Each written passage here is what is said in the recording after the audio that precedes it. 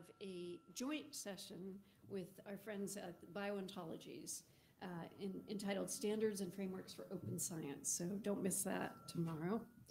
Um, And then we have a session on uh, fair and open data, which leads right into our closing panel.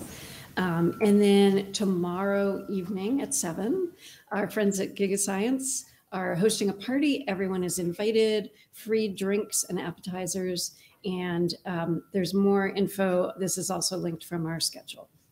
Um, if anyone who's speaking uh, needs information about where to put their slides, you can copy them here to the podium computer during the break before your session, or we have a shortcut to a Google Drive folder, bit.ly slash BOSC dash slides.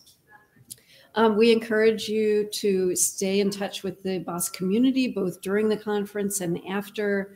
Every uh, webpage has this footer where you can join us on Slack and follow us on other social media.